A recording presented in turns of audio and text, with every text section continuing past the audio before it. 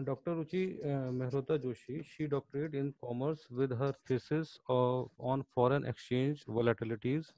She is a uh, triple uh, postgraduate with MCOM, ABST, MCOM banking, and full-time PG uh, IMI, Delhi.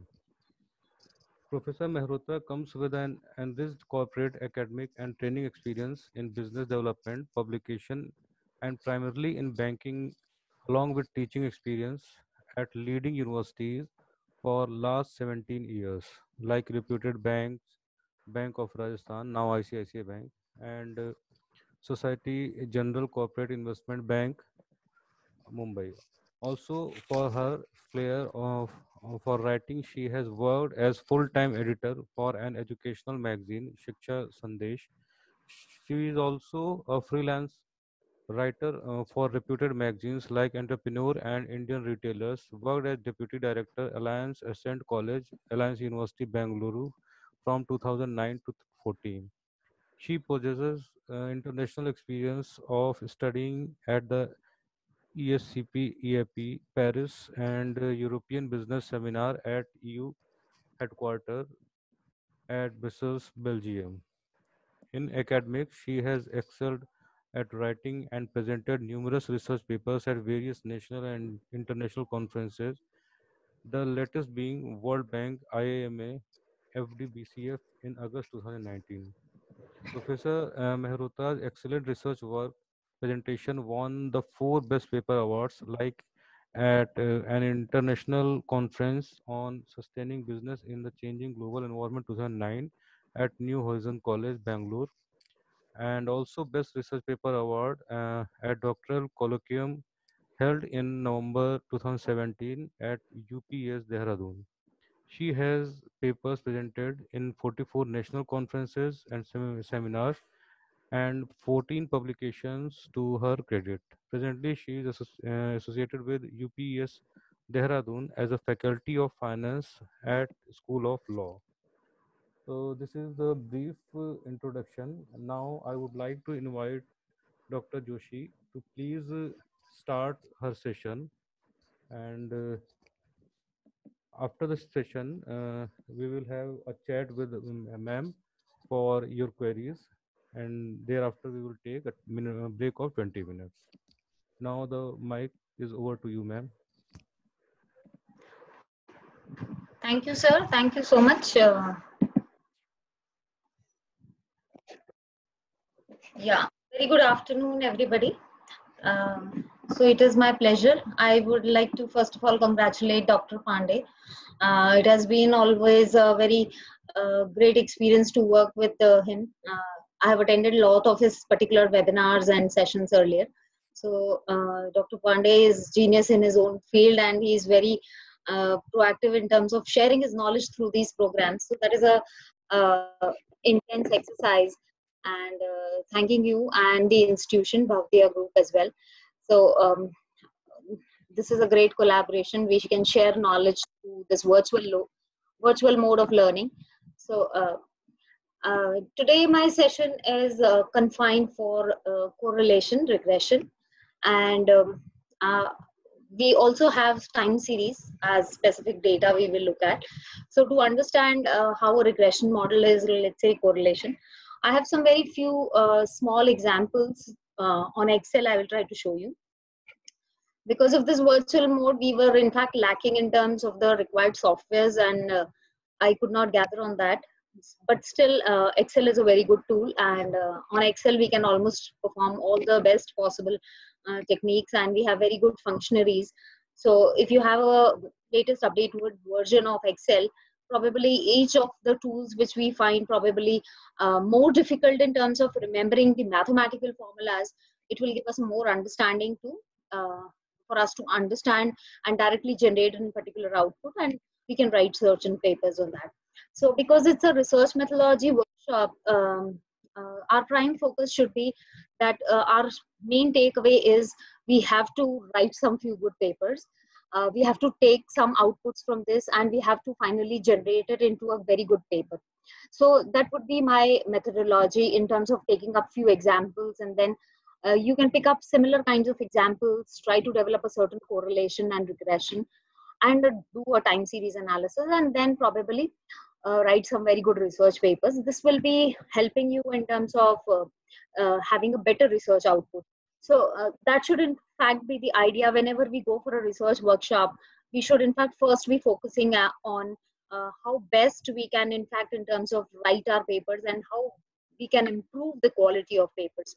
So after doing every research workshop, uh, my motivational message for each one of us, including myself, is that uh, we will write one particular paper on this methodology which we learned and uh, we are going to publish one paper.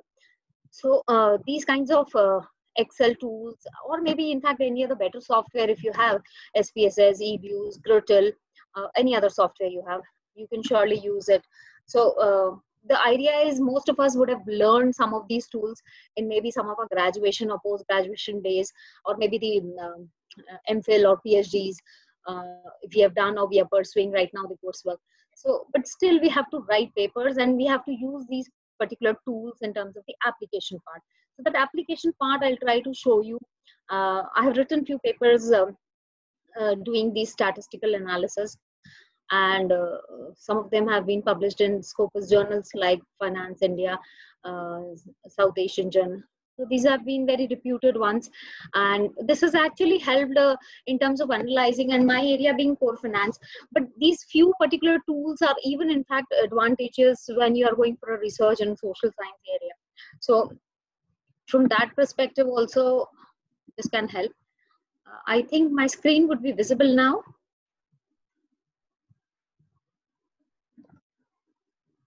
the screen is visible? Yes, ma'am. Yes. Uh, yes, it is vis visible. Ji sir. ठीक so uh, correlation regression and uh, in regression specifically the time series analysis हम यही cover कोशिश करेंगे आज और uh, क्योंकि mainly uh, जब हम देखते हैं कि prime idea as i said uh, when we are learning something we have to have an idea in terms of understanding we are going to publish it that should be the prospect so we should keep in mind what kind of a data i'm going to keep it up as a backup and i'm going to take it ahead for the publication perspective so try to learn from that idea you will be surely able to write one good paper and then publish it uh, in a good journal of uh, let's say good repute as well so um, this is uh, so I, will directly straight away start with a certain uh, correlation specific information. But uh, when I go ahead with this, I will surely like to say, uh, though my focus still remains more from the finance perspective because I'm a core finance person. But then, uh, as I said, social sciences also requires a lot of correla- correlation specific um, technical tools to be uh, used and understood very well because uh, when a lot of social sciences study or let's say certain market surveys we try to do we are looking at certain prospect which can be very uh, highly important in terms of what social necessities are or let's say uh, a certain micro perspective of a qualitative aspect of any particular firm. So we can probably start looking from that perspective also. But uh, whenever we talk of numbers it always helps in terms of understanding the number crunching methodologies. So we preferably take a finance data or let's say a uh, stock market data to understand a certain kind of a correlation now uh, when we use the term correlation and uh, generally how i uh, talk about this word is we break the words and we understand it so we break the words as correlation. It means it is talking of something which is a relation. It is for sure some relation. So it is a relation between what? It can be a relation between two, co.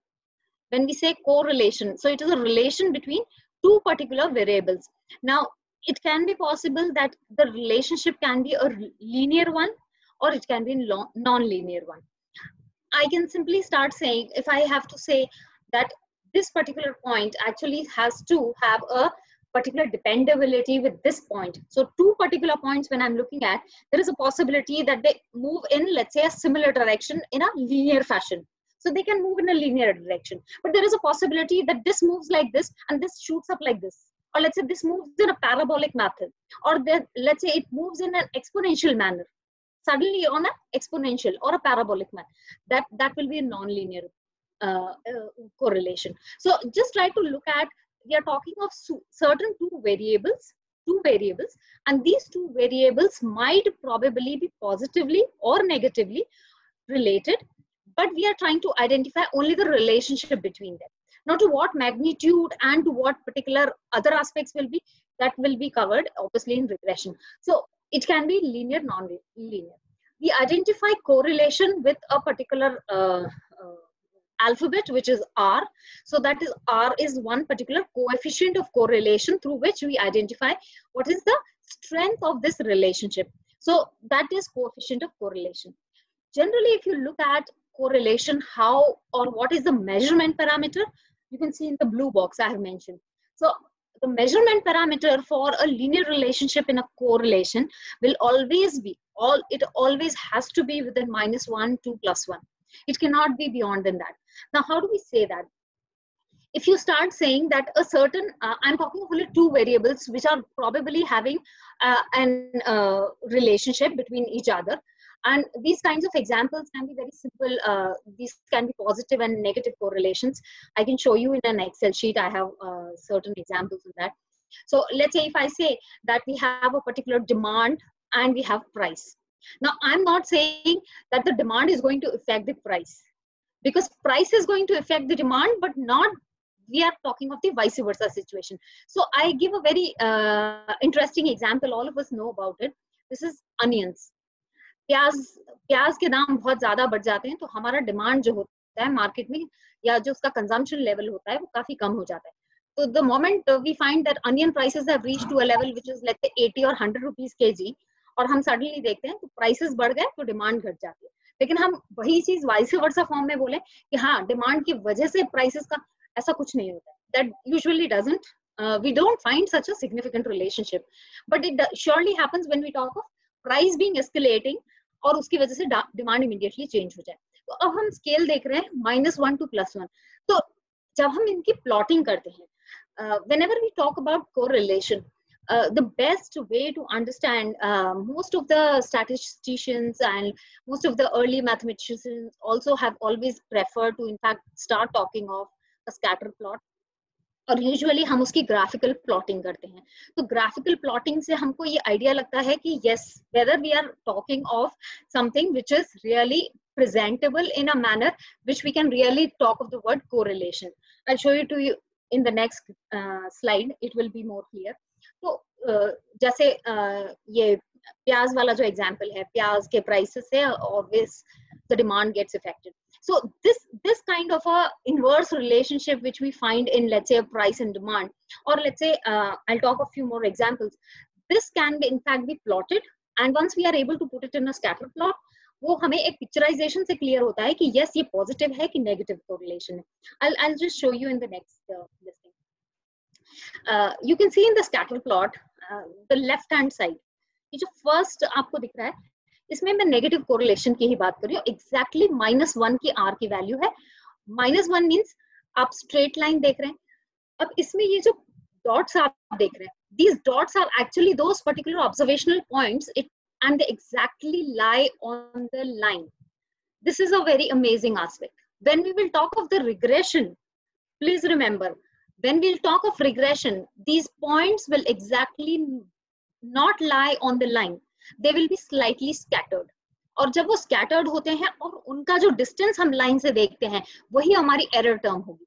वहीं से हमारा regression का model निकल के आएगा कि वहाँ जो हमारा एरर टर्म है, वहाँ से हम डिसाइड करेंगे रेसिडुअल है, जिसे हम आर भी बोलते हैं, कुछ लोग रो बोलते हैं। वो पर्टिकुलरली ये जो स्कैटर प्लॉट है I am showing you through the arrow this these dots will be slightly scattered if it is lying perfectly on this line, you can see this is minus one and we are talking of only particularly price and demand. Now, let's say we talk of this, the price escalates X. The price of onions escalates. तो जैसे जैसे price बढ़ती जाएगी, demand Y है, Y demand गिरती जाएगी तो ये एक नेगेटिव स्लोप हो गया और ये एक पर्टिकुलर रिप्रेजेंटेशन हो गया हमें स्कैटर प्लॉट से if you start understanding mathematics through these plot diagrams I tell you वो एक बेसिक ग्रास रूट होता है और it helps you in terms of understanding the more complex exercises going ahead तो चाहे वो ऑटो कोरिलेशन हो फिर रेसिडुअल हो heteroscedasticity if you start studying from a graphical point of view i'll tell you conceptually things become become more clear and uh, right to you let's look at the second one positive correlation uh, positive perfect correlation. Why we say perfect? It is exactly plus one.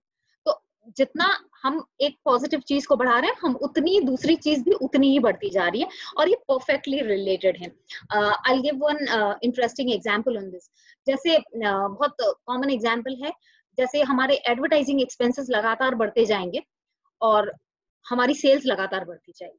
That's a very simple example. Another example which i can give on this is let's say i talk of the temperatures are soaring okay temperatures बहुत ज़्यादा हैं इस वक्त बहुत गर्मी है the more temperatures rise the ice cream sales will also continuously increase so the more increment in the temperature इस graph में आप लेट्स से एक्स एक्सेस पे प्लॉट कर रहे हैं टेम्परेचर्स बढ़ रहे हैं 20 डिग्री 25 डिग्री 30 डिग्री 45 डिग्री पे आपका सबसे हाईएस्ट पॉइंट आप देखिए, यहाँ पे सेल सबसे ज़्यादा हो जाएगी आइसक्रीम कंजम्पशन बहुत बढ़ता जाएगा। That is a kind of a positive correlation so we are trying to identify it can be any particular socio economic financial banking any particular economic problem which can be sorted out and we can find first of all a correlation whether this gets affected और not you can just see i have mentioned few of these examples here inverse relationship जो ये नेगेटिव वाला मैंने ये आपको example अभी दिया दिस वन इसका एग्जांपल है जैसे प्राइस इंक्रीज हो रही थी अनियंस की तो डिमांड डिक्रीज होती जा रही uh, in students reference in let's say a socialist or let's say a behavioral kind of a study when we do तो हम काउंट कर सकते हैं कि स्टूडेंट्स का जो बिहेवियर है उसमें अगर नंबर ऑफ़ उनका एब्सेंटीज्म बढ़ता जाता है एब्सेंटीज्म अगर बढ़ता है तो उनकी स्कोरिंग ग्रेड जो होती है वो हमेशा घट जाती है।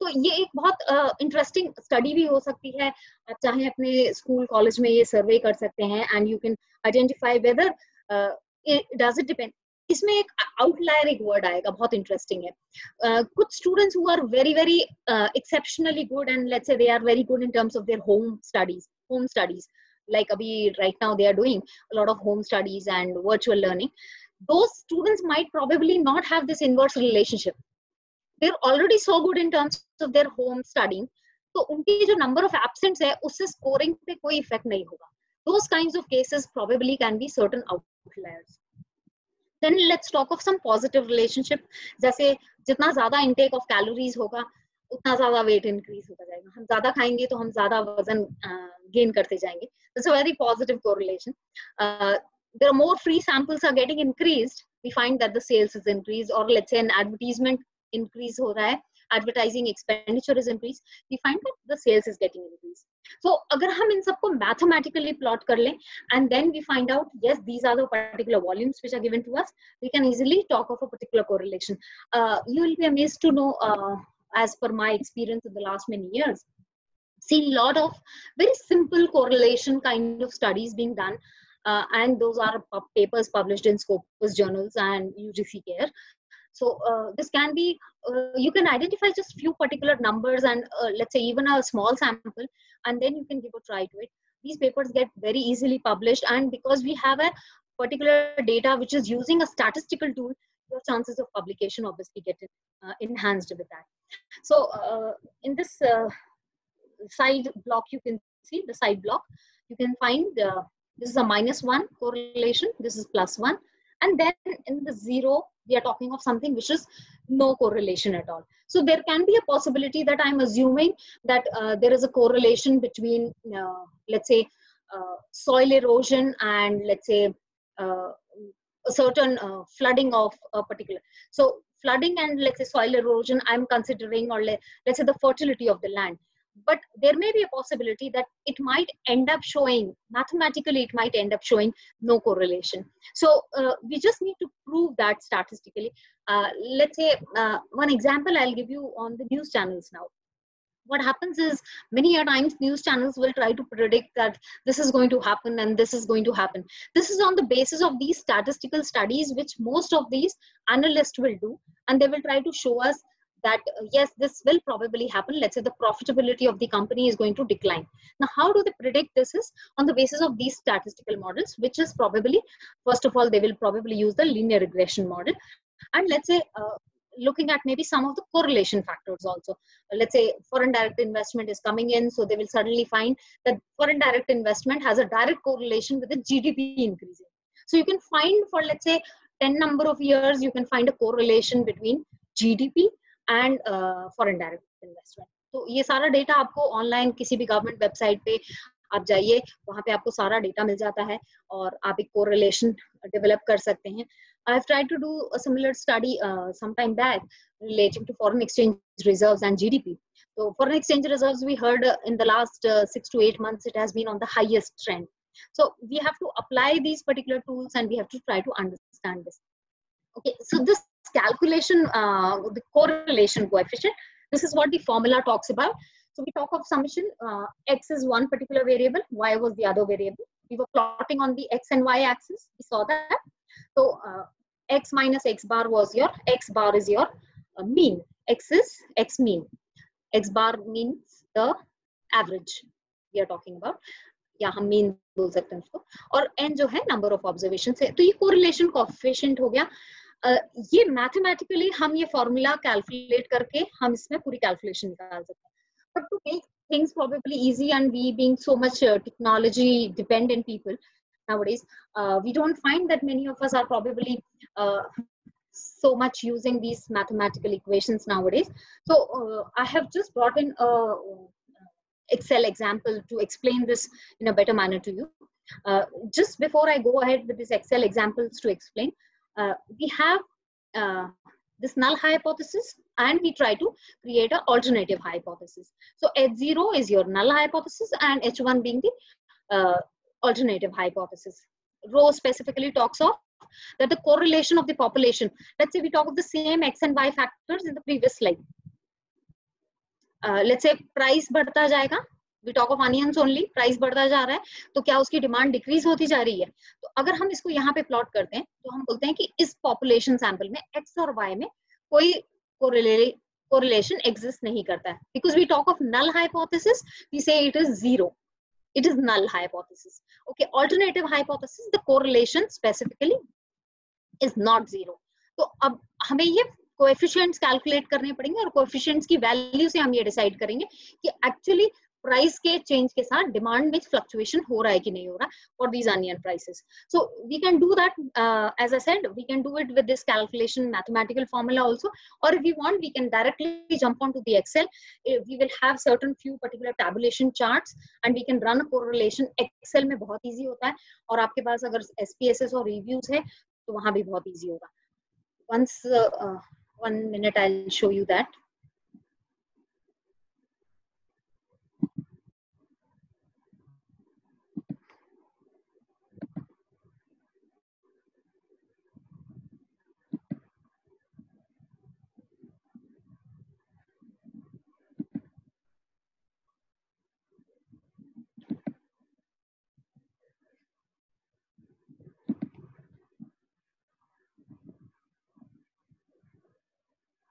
I think screen is visible, sir. Excel sheet is visible? Yes, ma'am. Okay. Yeah. So uh, let's say one example, uh, interesting, uh, one more interesting example. Uh, let's say we have 12 respondents. Uh, और उसमें हम एक study करना चाह रहे हैं कि उनकी कितनी इयर्स ऑफ़ एजुकेशन थी उसके बाद वो लेबर फोर्स में उनको entry milli so the age when people enter in labour force वो ऑब्वियसली इफ़ेक्ट करता है कि हमारे पास कितनी एजुकेशन है। कोई मान लीजिए अगर क्लास एट्थ पास है तो वो obviously at the age of fifteen enter करेगा। या you can see in this row class eight pass है तो वो फिफ्टीन ईयर्स में, यानी अर्ली उसकी लेबर फोर्स में एंट्री हो जाएगी। अगर कोई बहुत हाईली एजुकेटेड है तो उसकी लेबर फोर्स में जो एंट्री होगी, वो डिलेड होगी। क्योंकि पढ़ाई में बिज़ी है तो वो ले। तो we are trying to understand a correlation between these two particular factors अब अगर हम इसको बहुत सिंप्लीफाइड uh, फॉर्म में देखें कि इतनी number of years of education है and how does it affect let's say the labour force age entry simple tool है। हमारे पास ये ऑब्जर्वेशन हैं which is from B two B13 you can see this B2 to B13 then there is I'll maximize this and show you so from B2 to B13 we have one particular variable x, let's say, and this is another one, which is, let's say, y. Now we have to find a correlation. I, I have done this uh, simply through a particular formula और ये हमारे लिए बहुत easy हो जाता है तो in fact nowadays uh, we simply add with the function xl okay we simply add it we write this which is the entire value range of b2 to b13 comma हमें इसके पूरे factors के साथ इसको compare करना है from C two to C thirteen I repeat correlation between B two this is my B column B two to B thirteen and C two to C thirteen यही हमारी रेंज है और इसके बीच में directly just you will enter correlation and बस आपको enter करना है यहाँ पे you get directly a particular correlation which is a positive one and we get it as 0.62 यानी अभी हमने एक ग्राफिकल फॉर्म में स्पेसिफिकली हमने देखा था in the plotting also we saw that when we talk of something which is towards plus one positive correlation इसका मतलब जैसे जैसे higher number of years of education बढ़ता जाएगा जितना ज़्यादा कोई इंडिविजुअल एजुकेटेड होगा उसकी लेबर फोर्स में जो एंट्री की एज होगी वो एज भी बढ़ती जाएगी ये पॉजिटिव कोरिलेशन होगा I'll, I'll show you another example. This will be more interesting. I was talking about this example of temperature getting increased और उसमें जो ice cream sales है I miss the word ice cream. Let me write it at least. So I am talking of this ice cream sales तो हम assume करें कि जैसे अगर 25 डिग्री टेम्परेचर होता है तो आइसक्रीम की sales in million is let's say 100 I again maximize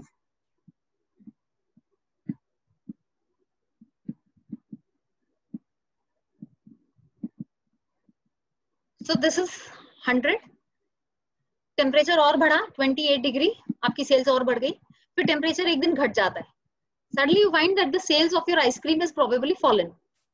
By the time the temperature is rising to a drastic extent, we find that the sales of these ice creams are rising. Now, see, when we write a research paper, we have to identify the problem. So this is actually a methodology also to identify the problem, Then create an hypothesis and then try to statistically prove it. So that is the best way. तो अगर हमें लग रहा है कि ice cream की sale suddenly drop हो रही है तो क्यों ड्रॉप हो रही है तो ये हमारा प्रॉब्लम स्टेटमेंट हुआ हमने नल हाइपोथेसिस बनाया which talks about uh, the hypothesis null hypothesis say, stating that correlation does not exist between temperature and the sales so there is no correlation but we say alternative hypothesis specifically talks about there is some correlation what how how do we try to prove this now this is a certain number of data which is let's say i talk of only five observations And with these five observations, I will try to run a correlation. I've already done this for a practice purpose. I'll again show you. This is correlation. ठीक है हमारे पास again B2 to B6. Sorry.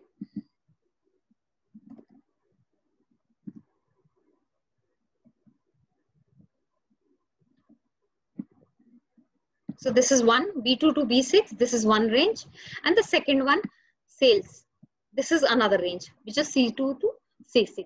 I'll run this. So I get a correlation which is 0.9.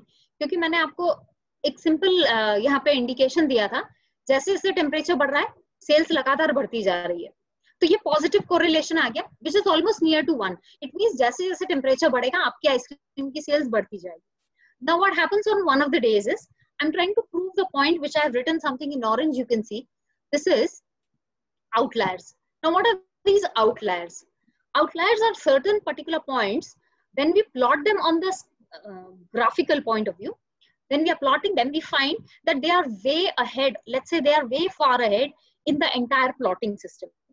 तो अगर हमारा एक कुछ particular universe है और उस यूनिवर्स में बिल्कुल एंड पॉइंट पे जाके हमें एक पॉइंट ऑब्जर्वेशन मिलती है Which is way far from the rest of the particular observations.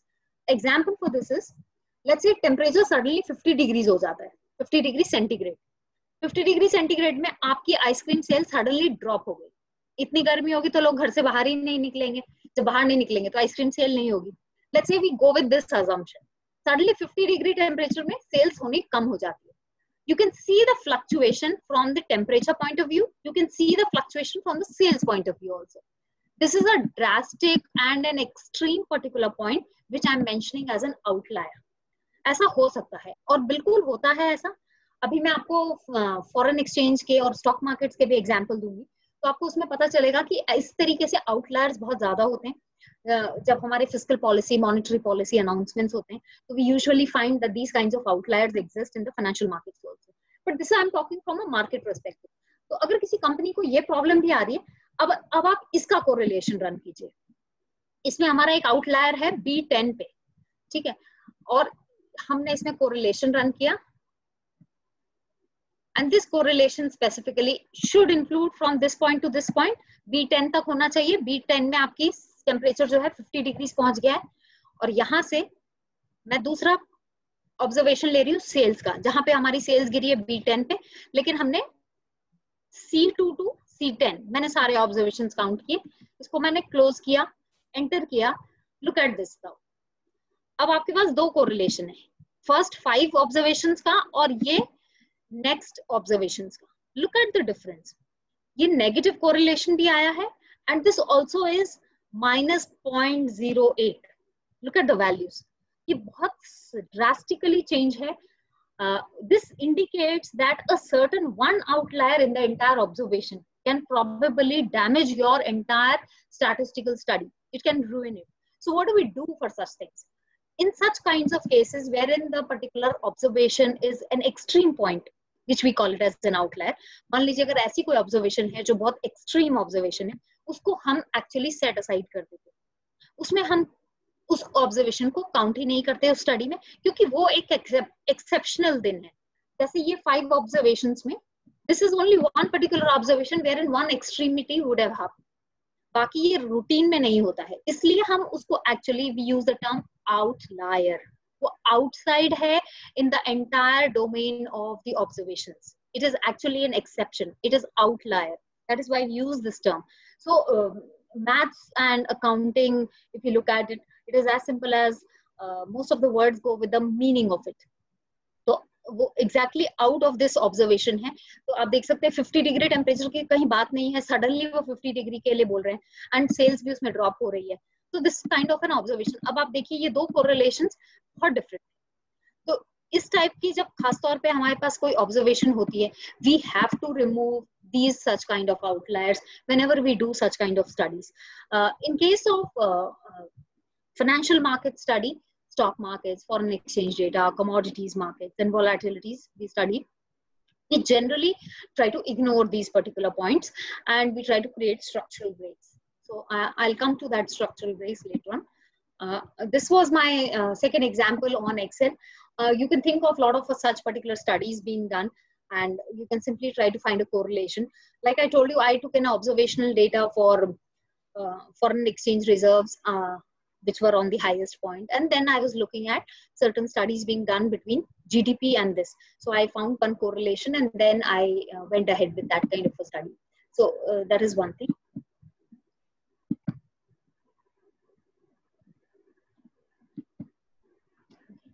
So I was here. Yeah.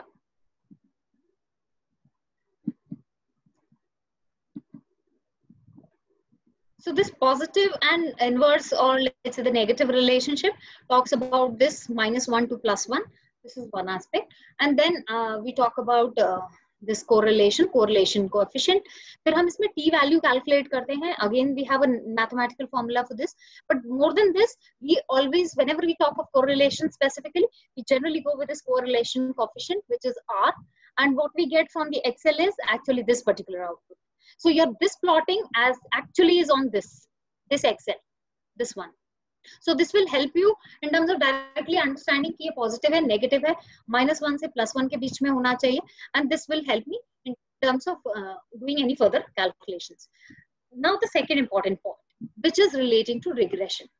जब हम ये बोल रहे हैं कि ये अगर scattered plot है और इस scattered plot में यहाँ पे हमारी जो observations हैं वो बहुत ज़्यादा scattered होती है and they have a certain distance which is not very close there they might be close but some of them might be slightly away from this entire straight line तो ये जो मैं इस straight line की बात कर रही हूँ या फिर इस straight line की so in these straight lines there might be certain particular points which यही हमारे लिए एक error term होती तो ये जितना डिस्टेंस uh, होगा वो प्रोबेबली हमारी जो स्टैटिस्टिकल फोरकास्टिंग होगी वो फोरकास्टिंग में हमारे लिए एरर क्रिएट करता जाएगा। अभी हम डायरेक्टली अगर सिर्फ़ टू पर्टिकुलर वेरिएबल्स की बात करें तो वहाँ हमारे लिए बहुत सिंपल होता है। This exercise becomes quite easy we can simply do a certain kind of correlation बता दिया बात खत्म बट जहाँ हमें फोरकास्टिंग करनी होगी, वहाँ हमें उस एरर टर्म का ध्यान रखना पड़ेगा, जिसे हमें so that there is no particular mistake coming in so that we are not able to make a wrong prediction तो क्योंकि ये प्रिडिक्शन एनालिसिस में फोरकास्टिंग के लिए these are very very helpful terms So regression is basically, it's another reliable method uh, of identifying which variables have impact on a certain topic of interest. Uh, the process of performing a regression allows you confidently to determine which factors most or which factors can be probably ignored and which factors have the highest amount of influence. So when, when we are looking at a certain particular equation, any particular equation, mathematical equation. We are trying to find out, yes, there is a correlation. They are going to have a particular effect on each other. But now to what extent and what kind of a positive or negative. So we will find out the magnitude as well. So sometimes what happens is a certain thing is going to affect the other, but to what extent it will affect. So वो जो effect का जो magnitude है, whether it's a very higher one or a lesser one, here we start identifying from the regression models. This will start help. Now, most of us would have heard about this equation, which is a very popular one. Uh, sometimes in uh, few uh, earlier, uh, let's say some few schools and let's say some graduation days, we would have heard about this. So y is equal to mx plus c, a very, very popular equation. Uh, and the other one is, uh, I've written just an explanated more version of what is y is equal to mx plus c. So uh, M specifically talks about the slope, C is a constant, and X and M. I have specifically put in different colors to it.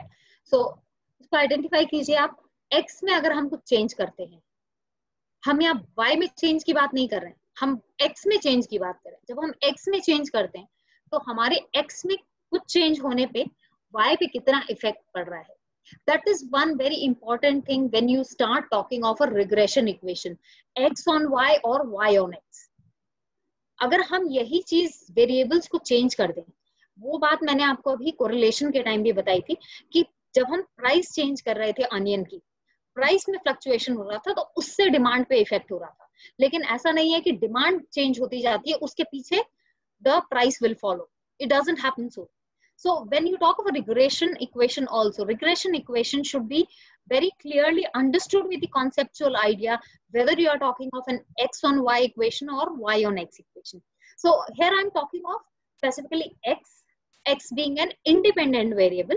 तो हम x को कितना भी change करते जाएँ y पे effect होगा और y पे कितना मैग्नीट्यूड का इफ़ेक्ट होगा I am using the term m only तो अगर हम m स्लोप की बात करते हैं तो x पे कितना भी चेंज करेंगे वो m times m m times plus a constant factor will y get affected will y probably get changed not probably in fact it will get changed so it will because it's exactly equal to sign so it will surely get changed look at the second equation i have mentioned two particular independent variables it can be mx plus pz plus c so i'm saying x and z are independent variables x and z.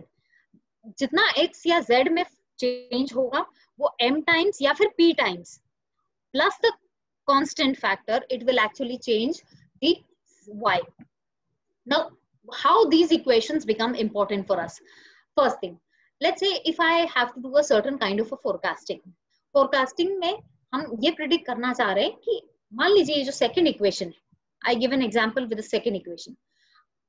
why is sales of a particular let's say uh, mobile phones? Sales of mobile phones. Why? ये किस पे effect कर रहा है? हमने identify किए दो ही पर्टिकुलर फैक्टर्स हैं। लेट्स से फ़र्स्ट फैक्टर हम आइडेंटिफाई करते हैं लेट्स से जो अपडेटेड टेक्नोलॉजी है। और एक सेकंड फैक्टर चलिए मान लीजिए बहुत हॉट टॉपिक है मेड इन इंडिया फैक्टर है। ठीक है? मेड इन इंडिया है कि मेड इन चाइना है? Let's say we identify these kinds of two factors तो अगर हम ये अज्यूम करते हैं कि मेड इन चाइना या made in India factor will be a prominent factor तो मैं यहाँ हो सकता है पी को जो वेटेज असाइन करूँ I can assign those weightages. I'll tell you when we do a certain kind of prediction analysis, if we do not have few numbers, हम कई बार रिग्रेशन मॉडल्स जो क्रिएट करते हैं there are certain kind of weightages being assign कुछ हम hypothetically भी assign करते हैं बट हम ऑब्वियसली जब रिग्रेशन की बात करें तो we get these particular weightages which is the value of M and the value of P we get it from EViews EViews या आप इनसे भी कैलकुलेट कर सकते हैं ग्रेटल से भी आ जाएगी या आप चाहें तो उसे मैथमेटिकली भी सॉल्व कर सकते हैं So when I'm mentioning that the values of M and P can be derived, and I'm assigning these two weightages to one one independent factor, the more advanced technology, तो जितनी advanced technology का phone होगा उस पे obviously उसकी sales effect करेगी, जितना ज़्यादा एडवांस टेक्नोलॉजी तो कोई बोल रहा है लेटेस्ट वन प्लस फलाना फलाना इट इज़ लॉन्च तो obviously sales immediately shoot up हो गई लेटेस्ट टेक्नोलॉजी है। सेकेंड फैक्टर हो गया मेड इन इंडिया फैक्टर है। ओ made in India factor with a new technology obviously you will find that the y is on a very incremental side. So when we are identifying the two particular independent variables, my ident my identification of these two particular variables has to be so clear and so justified so that this equation actually y is equal to mx plus pz plus c is giving me a really appropriate answer which is a uh, validated answer and it can be a trusted factor because it's a forecasting model. So अगर मान लीजिए मेरे पास अभी last five years का data है और उस last five year से मुझे बोला जाए कि मैं 2022 के लिए सेल्स प्रिडिक्ट करूं I will be easily able to do that that is what the advantage of a regression model is so it helps us in terms of doing any kind of forecasting it helps in terms of doing any kind of prediction analysis also so this is one part of it okay. then we have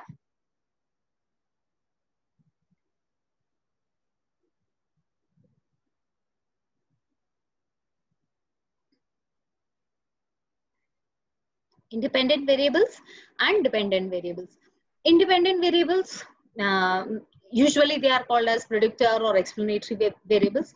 We have studied about this uh, in few earlier sessions also. And any changes in independent variables will obviously affect uh, the dependent variable, which is my y here. And the magnitude will be determined by the value of the constant and the value of the slope, which is there.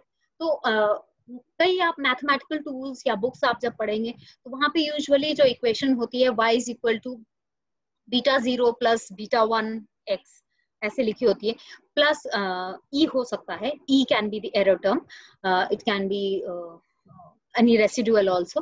So residual की हम बात करेंगे time series में is a part related to uh, regression but then when we talk about uh, residuals and these other econometric analysis, probably we go ahead and we slightly uh, move ahead from this uh, regression models. We talk of auto-regressive moving average models. Or, uh, so these are ARMA models. Then there are patterns relating to these. Uh, I think I should be showing you a simple regression equation.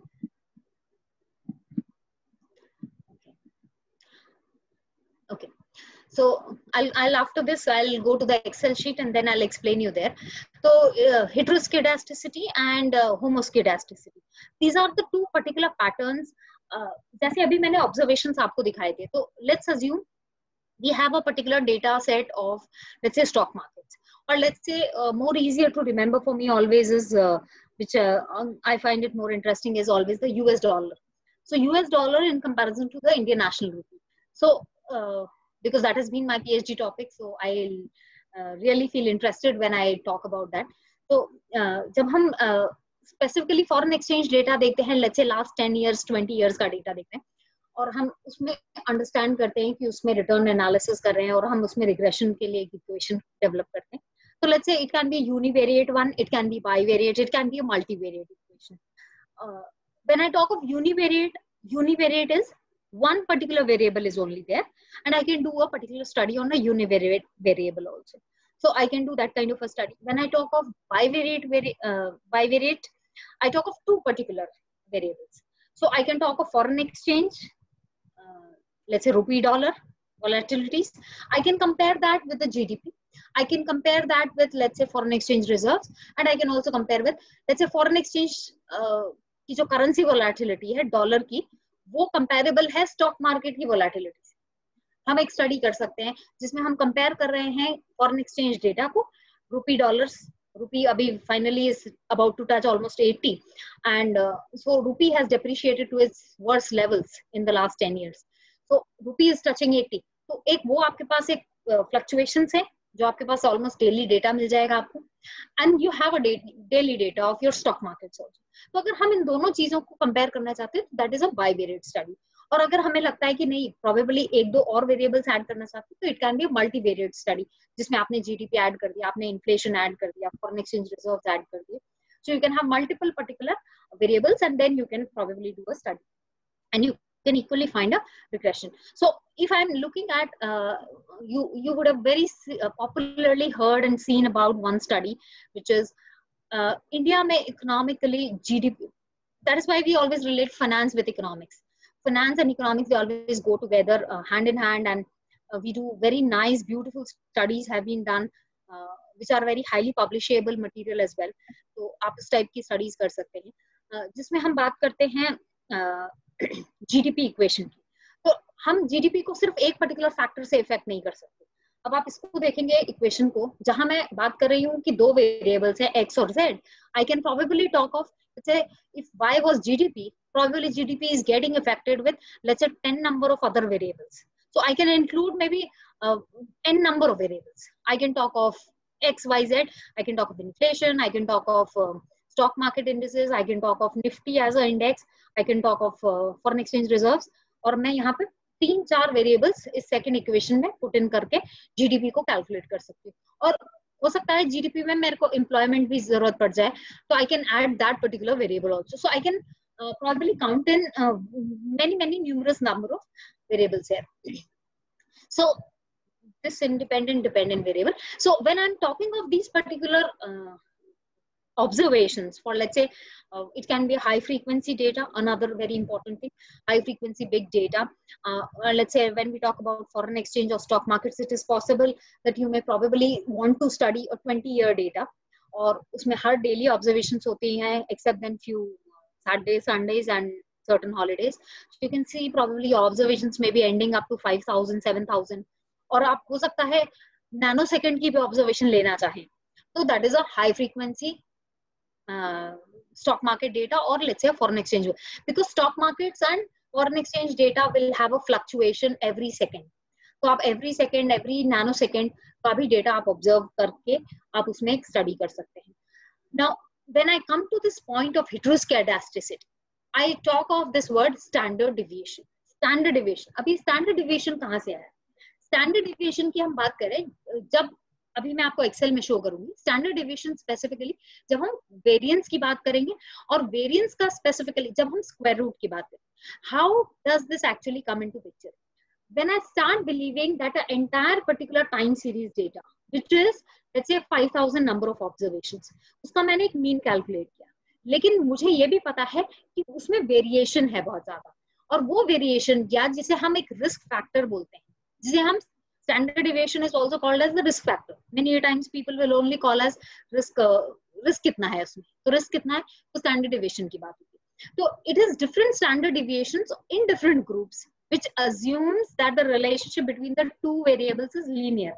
तो अगर मैं दो particular variables की बात कर रही हूँ stock market indices and foreign exchange volatilities so I will first try to calculate the variance why this heteroscedasticity is coming into picture जब मैंने प्लॉटिंग किया था तो time series data being a high frequency data जो उसकी plotting हुई थी वो close to the line everything was not there particular points were lines slightly scattered from that one particular line, which was, let's say, an inverse slope or let's say a direct slope. Okay, straight line going upwards. So the plotting would probably happen somewhere in and around. When I measure the distance between these particular error terms, these residuals, I actually find out this term which is heteroscedasticity. तो ये standard deviation बहुत important हो जाता है whenever we talk about a time series data which is a high frequency data and we are looking at for many number of observation छोटे data में इतनी problem नहीं होगी, क्योंकि उसमें बहुत ज़्यादा आउटलायर्स नहीं होंगे। लेकिन अगर आप 10 साल के ऑब्जर्वेशन देख रहे हैं तो बीच में बहुत सारे इंस्टेंसेस ऐसे हुए होंगे, जहाँ पे सडनली कुछ कुछ आउटलायर्स आ जाते हैं।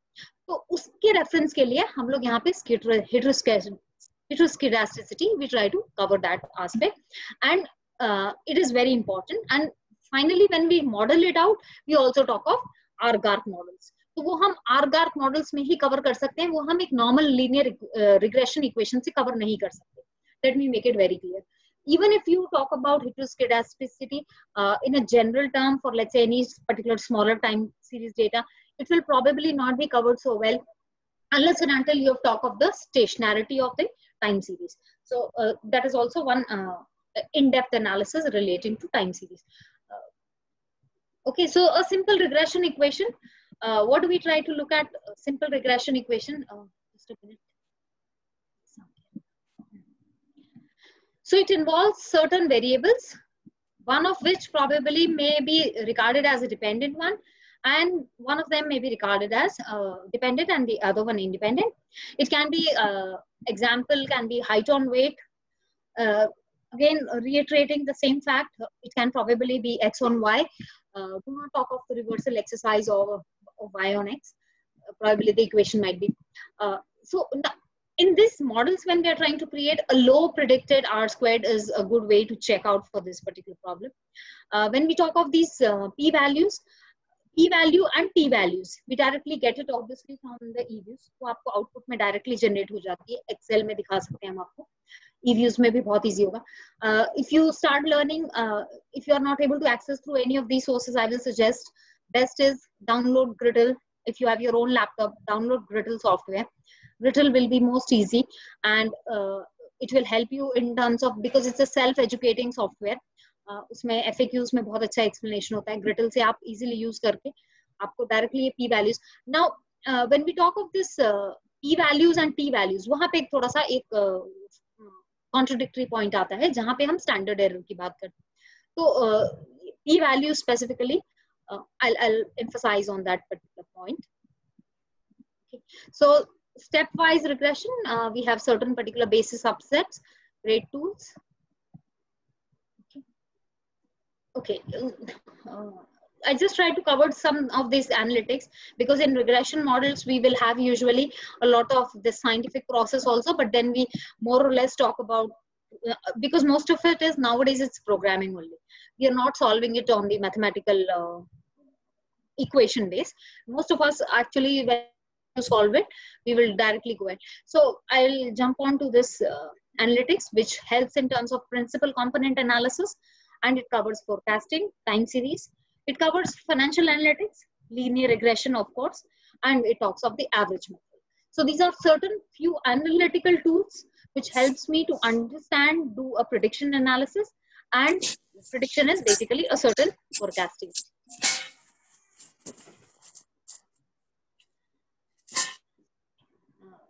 So there are a few examples, uh, very popular examples, which include is uh, in banking, they are nowadays doing these examples. Uh, you can derive some few research ideas also from this.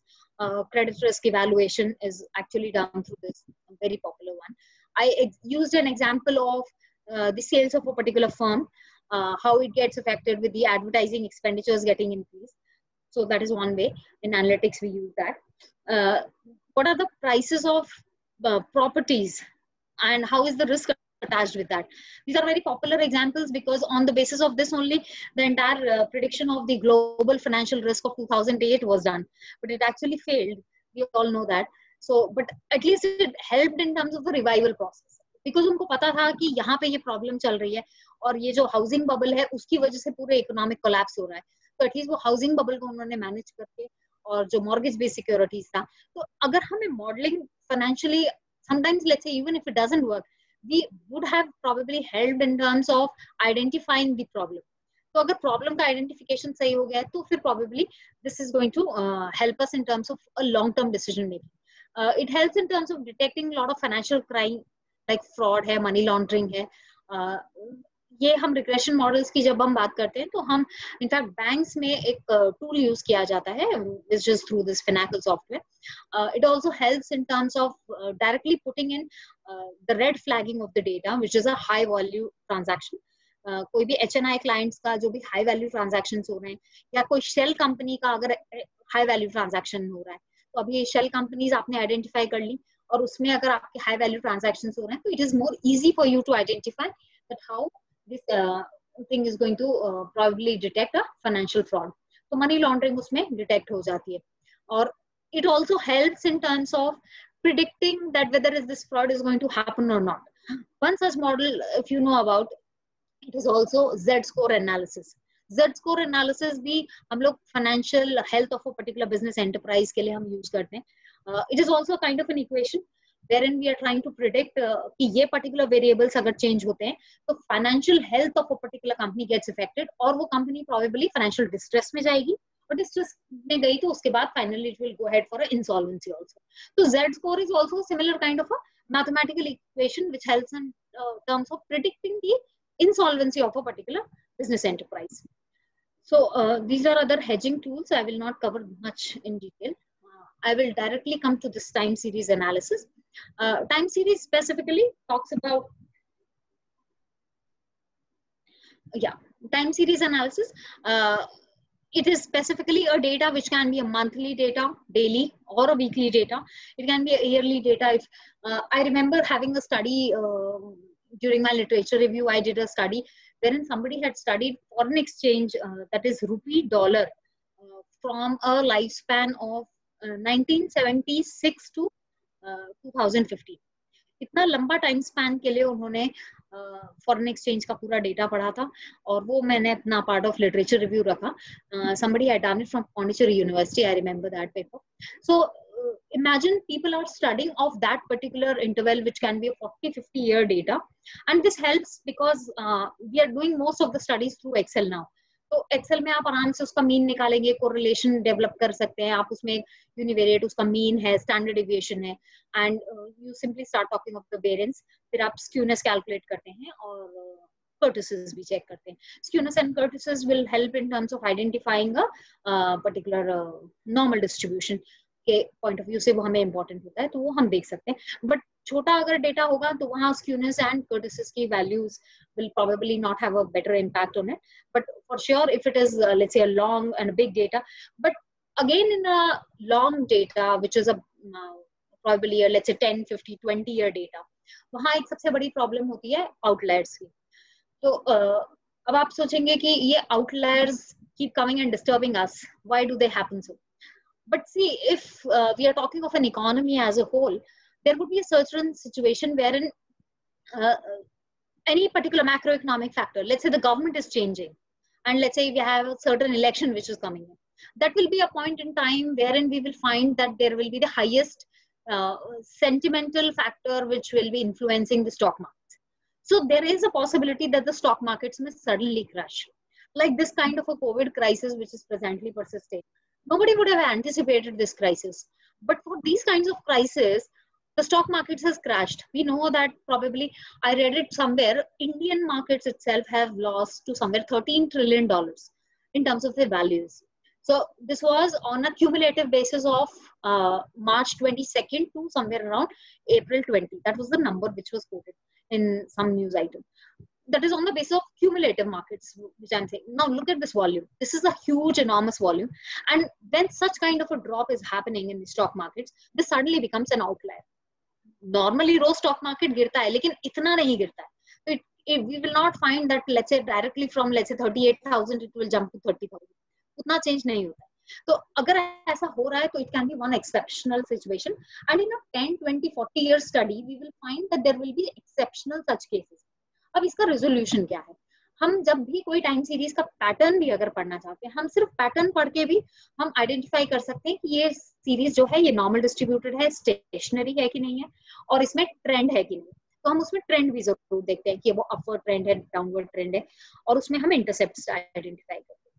तो जब हम ये normal kind of study in time series we are doing what best solution is possible आप उसमें structural breaks कीजिए। You try to break that particular जहाँ आपको एक लगता है कि ये टाइम सीरीज़ के ये पर्टिकुलर इंटरवल में यहाँ पे एक एक्सट्रीम पॉइंट आ रहा है।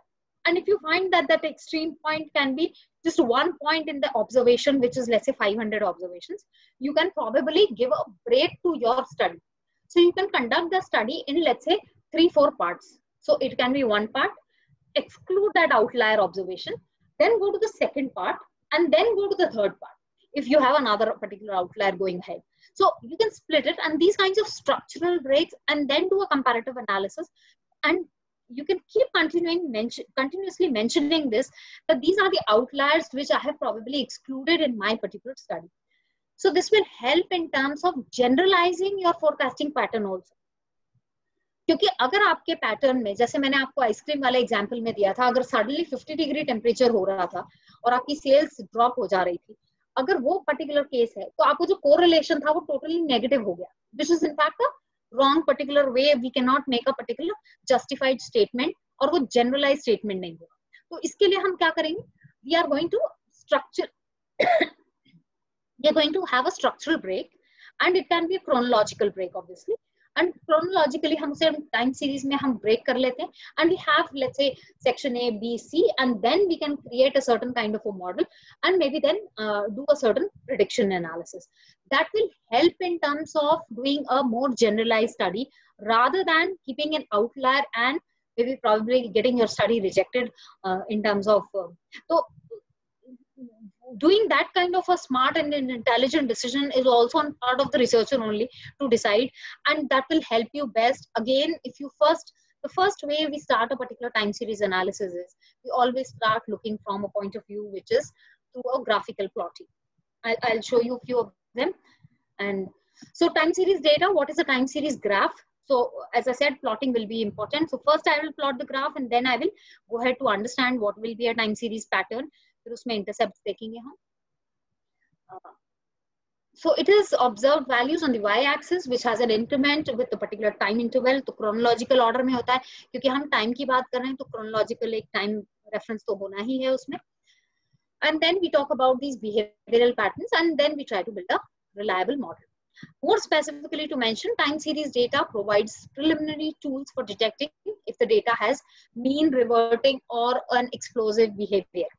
ये बहुत इंपॉर्टेंट फैक्टर है आई एक्सप्लेन दैट अगर आपकी जो सीरीज़ है, वो स्टेशनरी है, आप इमेजिन कीजिए एक pattern I am trying to show you through a finger only एक सीरीज़ है जो एक फ्लक्चुएट करती है और रिटर्न्स की हम बात करते हैं तो हम ऑब्वियसली रिटर्न्स एक पॉइंट से क्रेस्ट एंड ट्रॉफ्स में ऐसे फ्लक्चुएट होता है ग्राफ तो जब हम रिटर्न्स इसके हमारे ज़ीरो पॉइंट से आसपास यहाँ पे फ्लक्चुएट कराए तो एक ऐसे क्रेस्ट एंड ट्रॉफ्स बनते जाएँगे। अगर हम ये अज्यूम करें कि ये मीन रिवर्ट मीन्स के आसपास ही फ्लक्चुएट करेगा। If I assume that there is a big fluctuation तो एक तो वो आउटलायर हो गया। दूसरी प्रॉब्लम यहाँ पे होती है when I start assuming that there might be a certain autocorrelation which might also exist in these तो अगर मेरी स्टॉक मार्केट की जो प्राइस है, वो आज की स्टॉक मार्केट की प्राइस वो कल से या परसों के प्राइस पे बहुत ज़्यादा इफ़ेक्ट कर रही है। It means I am talking of something which is an autocorrelation which might exist in the time series also ये भी पॉसिबल है ना कि कल क्योंकि मार्केट बहुत गिरा था तो आज उसका इफ़ेक्ट रहने ही वाला है that can be a possibility so if these kinds of factors also exist there might be a time series which can probably indicate a different pattern altogether so this is a very uh, beautiful i would say a very very in-depth study people in fact do phds in uh, time series analysis for uh, various number of years to understand only these particular patterns. As I said, this is a, a very unique concept to understand. It can be mean reverting. It can have an explosive behavior. It can have a time trend. हो सकता है upward trend आपको दिखे फिर intercept दिखे भी ना एक होता है seasonality. Uh, कुछ स्पेसिफिक सीज़न मिल सकता है जहाँ पे आपको मिलेगा कि yes it is going in a very let's say an upward trend but rest most of the time probably you may find it as a constant तो हम जब टाइम सीरीज़ पढ़ते हैं तो intercept with constant intercept only intercept तो हम वो भी बात करते हैं, जब हम ऑगमेंटेड डिक्की फुलर टेस्ट पढ़ते हैं। तो ऑगमेंटेड डिक्की फुलर टेस्ट से हम स्टेशनैरिटी की बात करते हैं। That's a very important statistical tool when you study time series analysis ADF test it is called as augmented Dickey Fuller test ADF test you can use it through Gretl you can use it again through EViews also so these are then the fourth point comes is demonstrate structural breaks. Uh, in case of outliers, eh, wherein you feel that probably uh, this can uh, lead to a very disastrous result for my research, I'm going to exclude those particular points in the chronological order and I will just go ahead with the next pattern of the day.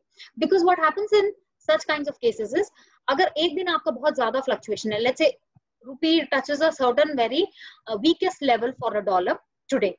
तो इसका आज का effect हो सकता है कि कल जरूर है तो ये इफ़ेक्ट को हम नलिफाई करने के लिए हम टाइम सीरीज़ में एक और वर्ड यूज़ करेंगे। I use another key word here is we talk of lags तो हम जो मूविंग एवरेज की बात करते हैं एरमा मॉडल में, उस मूविंग एवरेज में हम एक दिन पीछे जाएँगे, हम एक दिन और पीछे जाएँगे।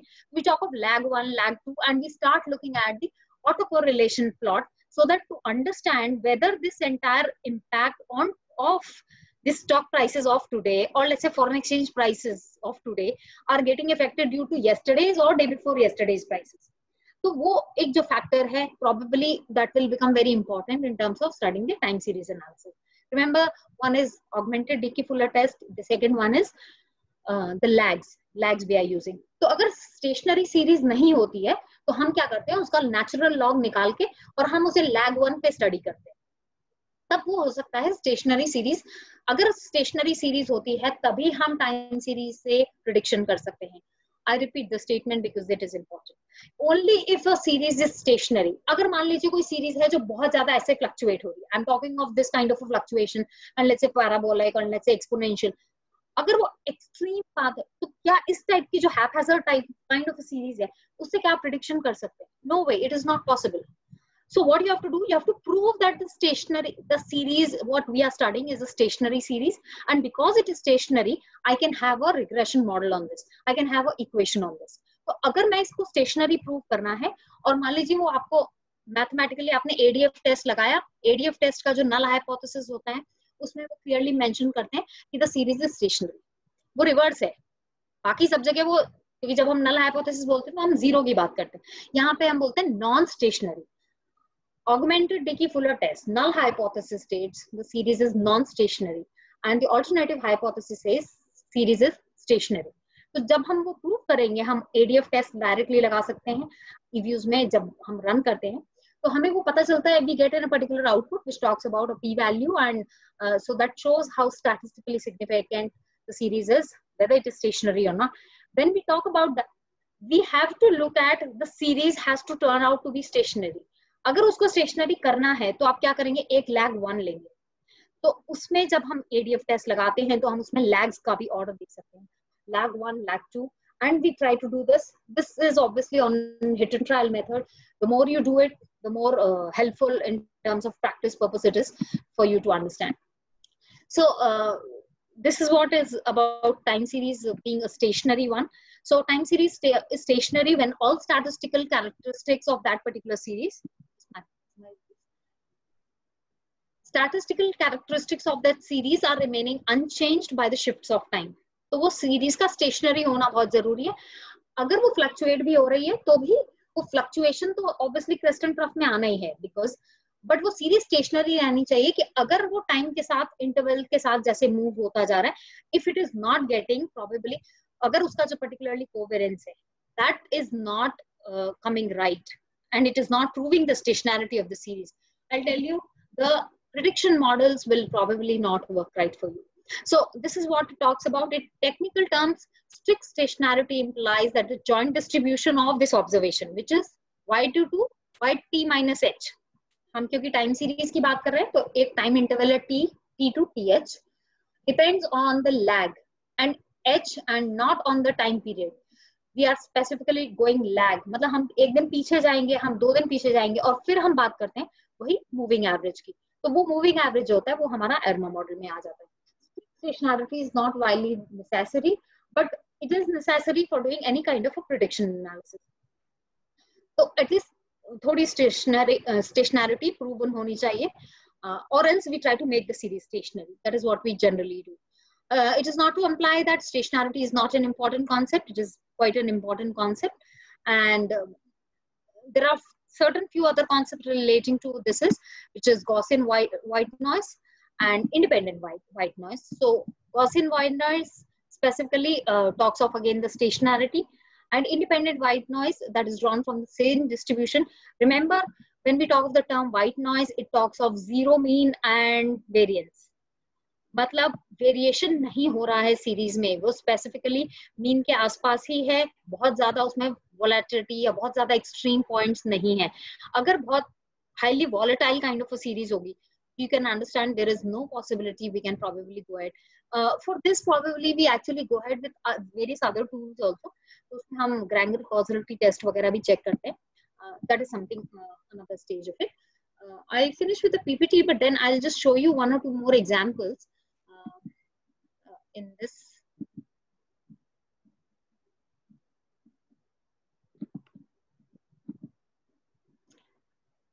एक एग्ज़ाम्पल मैं आपको एक्सेल में दिखाती हूँ।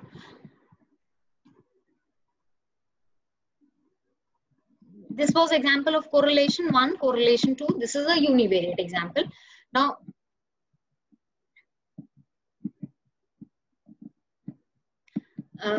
I delete this this is again a scattered plot but क्योंकि मेरे जो नंबर ऑफ़ ऑब्जर्वेशन है वो बहुत ज़्यादा है यहाँ पे this is somewhere around 493 observations I have taken I taken two year data for H D F C bank ये यूनिवेरिएट एनालिसिस है, और univariate analysis means one variable is only there and I am trying to study let's say time series so I have H D F C bank symbol this data you can obviously get it from any B S C website N S C website national stock exchange का site से आपको मिलेगा.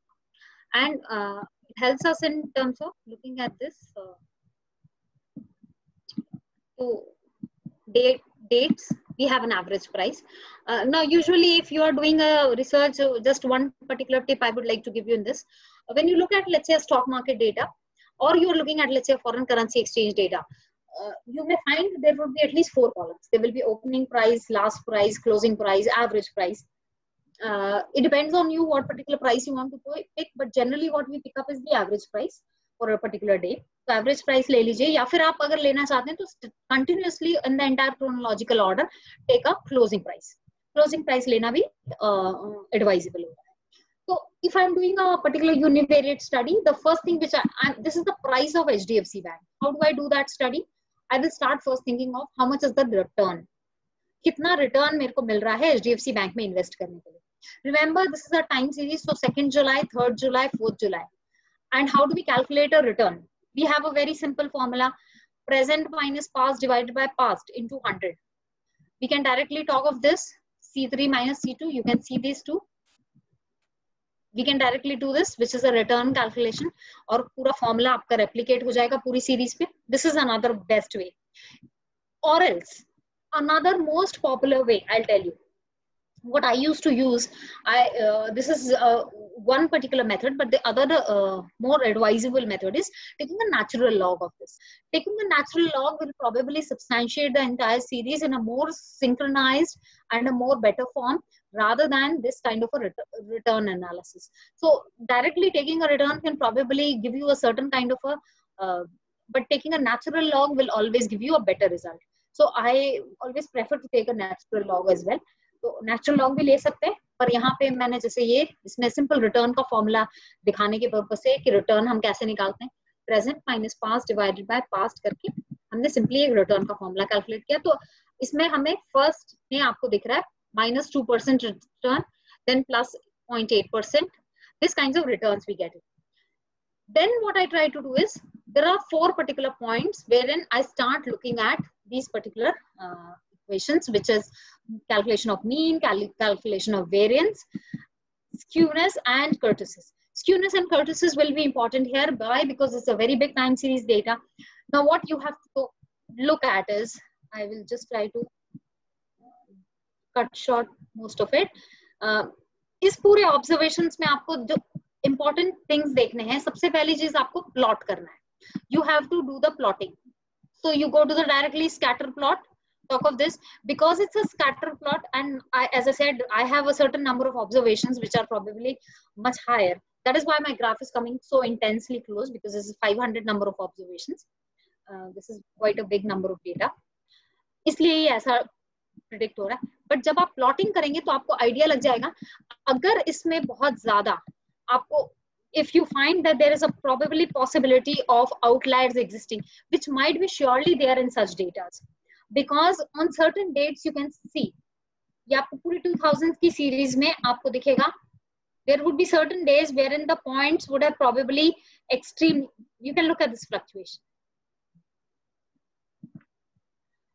ये positive से negative हो गया। 2142 से directly 2113 one one three there would have been date which is 8th August to 9th August ये इतना जो एक्सट्रीम फ्लक्चुएशन है this is probably going to create a certain outlier and certain kind of a problem in our particular forecasting model so what i have to do here is i will probably ignore this point and i'll create a break here so I will take first 28 observations and then let's say the next 20 or let's say may, maybe more number of observations like that. So these kinds of points can probably create a certain outlier. This is one thing. This will help me only getting identified if we are doing it through a graphical mode.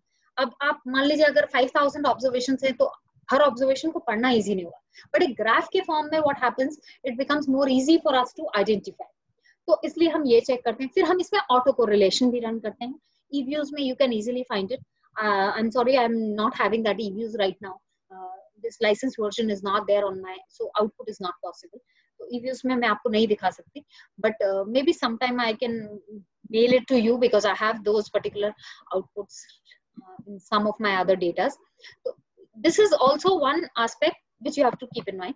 Then I said, uh, talking about the ADF test augmented Dickey Fuller test तो augmented Dickey Fuller test हमने stationarity के लिए run करना है उसमें अगर हमें स्टेशनैरिटी prove नहीं होती है what we do we actually talk start talking about augmented Dickey Fuller test के अलावा हम उसमें लैग ढूंढते हैं तो हम उसे one lag one lag two lag three में लेके जाएँगे।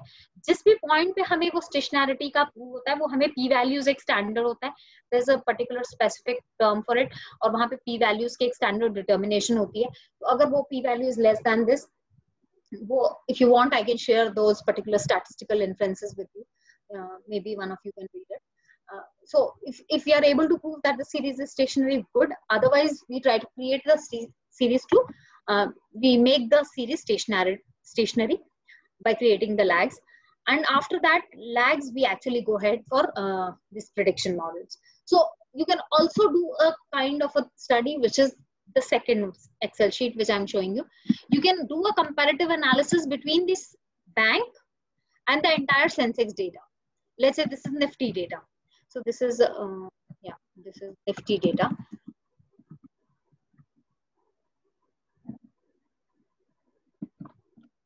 So this is Nifty data. It talks about this date and this particular references. तो मैंने अगर last 15 years का data आपने यहाँ पे देख रहे हैं. So with this much number of data, obviously we will compare HDFC Bank also for the last 15 years, and we can do a bivariate study also.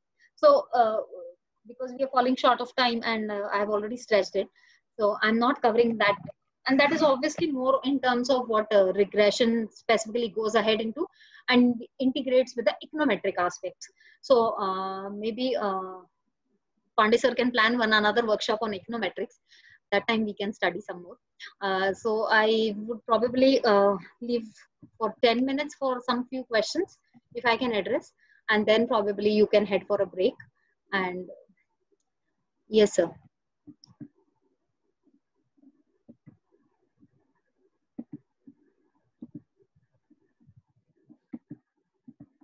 Any questions specifically on this? Uh, thank you, ma'am. Thanks for uh, this great uh, sharing your great experience with software.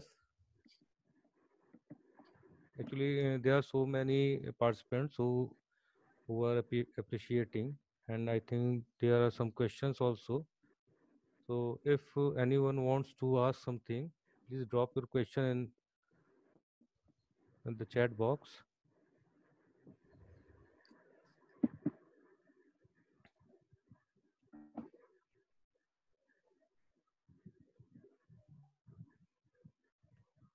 Otherwise, we will uh, take a break and after uh, 20 minutes, uh, we will start uh, our second session of the day. I can see very nice compliments. Thank you so much. yes, yes. Uh, thank you so much. My email ID is there if anyone wants any particular. Uh, so no, thank nobody so wants to ask any question, ma'am. Thanks, thank you very much for your session and uh, it was uh, such a nice presentation uh, by you and we have learned a lot and i think it will be helpful for Uh, Mr. Shashank Shivasto wants to ask something.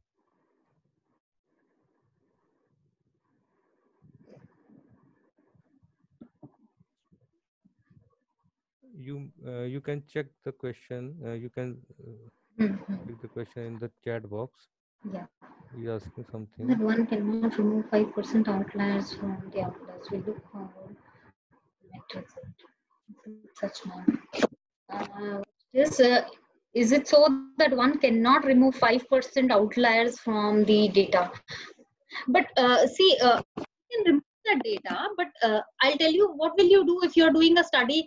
अब मान लीजिए GDP study करना चाह रहे हैं last twenty years का on a daily basis तो GDP का डेटा तो मोस्टली हमें फोर्टनाइटली और वीकली डेटा मिल जाता है। मान लीजिए अगर स्टॉक मार्केट की या फॉरेन एक्सचेंज वोलेटिलिटीज की हम बात करें तो हमें रुपी डॉलर का डेटा तो रोज मिलता है। तो आपके पास कम से कम पाँच हज़ार या दस हज़ार ऑब्जर्वेशन होंगे। तो अगर आप उसमें पाँच आउटलायर्स पाँच परसेंट आउटलायर्स को रिमूव करने की बात कर रहे हैं तो it will be first of all आपको एक एक पॉइंट पे जाके उसको डेटा को वहाँ से सेग्रीगेट uh, करना पड़ेगा। It will be a tedious job for you तो हम मोस्टली क्या करते हैं हम उसको इजी करने के लिए हम प्लॉटिंग कर लेते हैं और प्लॉट से हमको आइडेंटिफाई हो जाता है कि वो एक अपवर्ड ट्रेंड में डाउनवर्ड में है या कहाँ पे एक्सट्रीमिटीज है। मोस्टली हम रिटर्न्स पे ही स्टडी करते हैं। तो पहले आप एक नॉर्मल उसका बना लीजिए जो आपके पास ऑब्जर्वेशन uh, हैं मान लीजिए आपके पास 75 76 78 80 रुपीज़ का जो रुपी डॉलर फ्लक्चुएशन है वो आप पहले एब्सोल्यूट वैल्यूज़ पे निकालिए एक ग्राफ फिर जब एब्सोल्यूट वैल्यूज़ के बाद आप एक रिटर्न का ग्राफ निकालिए। फिर जब रिटर्न का ग्राफ आप निकालेंगे, तब उसमें आपको पता चलेगा कि कितनी एक्सट्रीम वोलेटिलिटीज है। उसमें फिर आप जो ऑब्जर्वेशन है, वहाँ से आप एक स्ट्रक्चरल ब्रेक क्रिएट कर सकते हैं।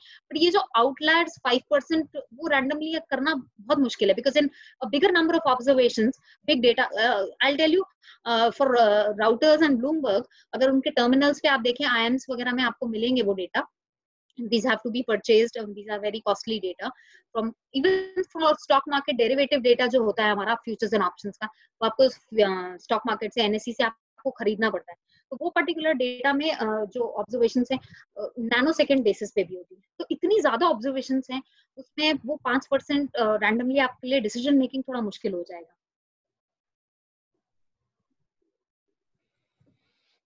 okay I hope this clears हाँ जी